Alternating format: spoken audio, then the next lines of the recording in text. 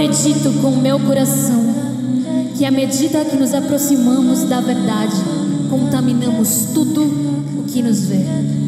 De modo que a missão de cada pessoa desperta é a chave para abrir uma nova porta, um novo passo para a real liberdade e felicidade de toda a humanidade.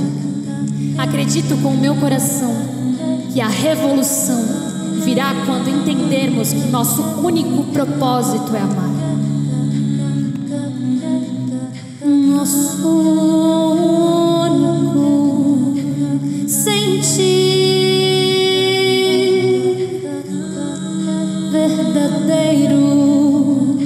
Por isso não haverá espaço para qualquer medida ou fala que desonre o amor de um ser a outro. Não mais governará desejo ou inconsciência por romper a liberdade de ser em gênero, forma ou qualquer espaço. A liberdade que nosso espírito quer contar. Amar verdadeiramente é retomar o divino em tudo que há. Amar verdadeiramente é retomar o divino em tudo que há.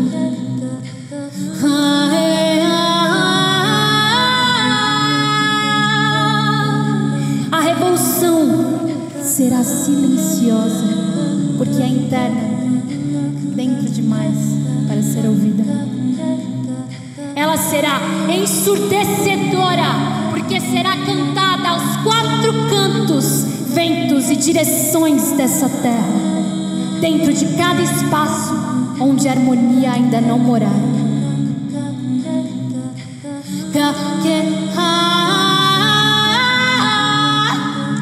Cada lágrima que brota de um outro ser, água em nós, semente de fazer nascer outra nação.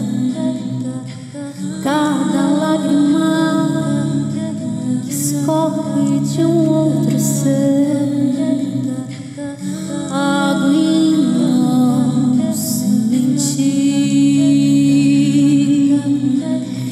Em nós, que toda a igualdade possa reinar. Retomo o meu compromisso de a ela honrar. Dia de lembrar, dia de lutar. Avante, é chegada a hora.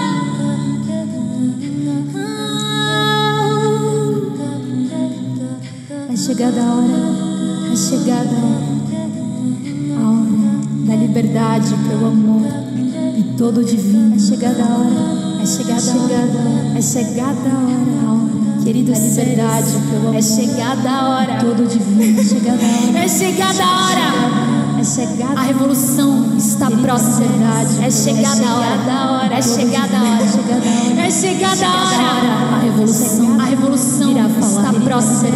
É chegada a hora. É chegada a hora. É chegada a hora. A revolução A revolução próxima.